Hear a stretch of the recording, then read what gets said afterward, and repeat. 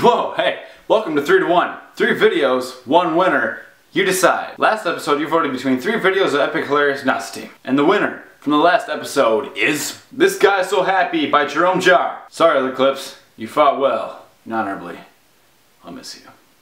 no, I won't. Now let's watch some more videos. Transition! Our first video is called Smack Cam. Let's watch! Smack Cam.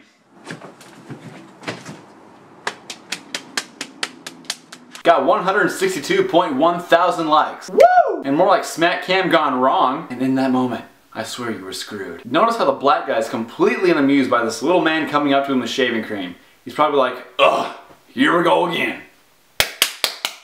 Ooh, right in the feelings. Next video, transition! Our next clip is so spot on, it makes me want to scream. You have no idea. It's called How Men and Women React to a Surprise Squirrel on the Road. Let's watch! You feel that, man?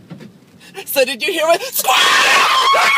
This video is by Zane and Heath. Got 25,778 likes and it cannot be any more true than it already is. You know it. They know how all men react when a squirrel jumps out in front of them on the road.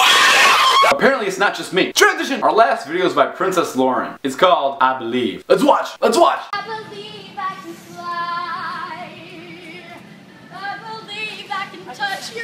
Got 72,996 likes and I swear if Marcus Johns was a girl and a little more obnoxious, this is who he'd be. Run around touching butts and stuff. For real though, the best part about this clip is not knowing what the woman's reaction is. Did she get mad? Did she laugh? Did she turn ghetto and go off on her? I don't know! The clip's only 6 seconds! Transition! Alright guys, that's all the time I have for today. Next episode will determine this episode's winner, which will compete with two more winners for Epic Dominance. Upvote the comment below that corresponds with your favorite video. Was it Smack Cam Fail, Surprise Squirrel, or I Believe? You decide. If you have a video you want me to review, send it to me through Facebook, Twitter, or even YouTube. Thanks for watching. I'm Jamison Donoho, and this has been another episode of 3 to 1.